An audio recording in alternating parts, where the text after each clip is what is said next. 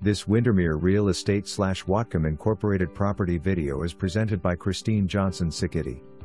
New construction home in Heather Ridge with view of the open field behind you. 2,800 square feet with two master bedrooms and four bedrooms 3.5 bathrooms, open floor plan with elegant kitchen with quartz countertops and soft close cabinets and stainless steel appliances in your spacious kitchen, huge breakfast bar and walk-in pantry.